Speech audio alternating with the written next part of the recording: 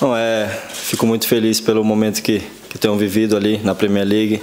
Meu primeiro ano, o time do West Ham é um time que, que chegaram vários jogadores, então a gente está ainda é, nos entrosando, mas tem, tem uns jogos que a gente demonstra a qualidade que, que a gente tem. E graças a Deus estou feliz de estar fazendo uma boa temporada e ter o meu trabalho reconhecido.